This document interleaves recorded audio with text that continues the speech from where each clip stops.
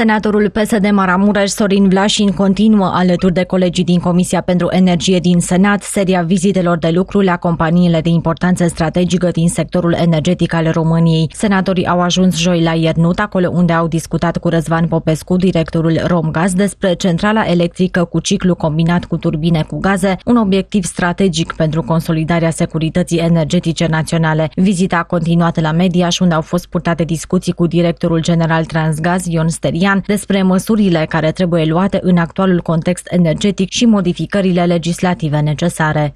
În viitor, împreună cu colegii senatori din Comisia Economică și Comisia pentru Energie, vom continua seria acestor vizite necesare, utile și constructive, pentru că ne pasă cu adevărat de problemele românilor. Ținem cu România, a scris pe pagina sa de Facebook senatorul Sorin Vlașin.